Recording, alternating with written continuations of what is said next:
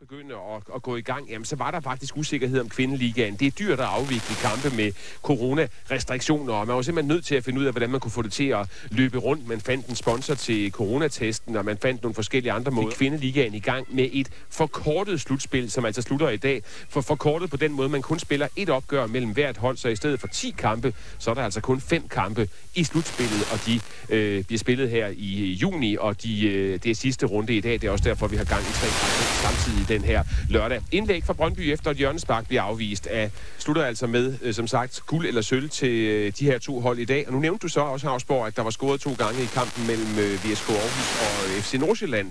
Og, Nu- nu er vi det jo på tre. også- Nu er vi oppe på tre. det. VSK, som har bragt sig foran. Igen altså gæsterne, som øh, har bragt sig foran med 2-1, så vi har altså fået øh, tre mål på mindre end kvarter i den kamp.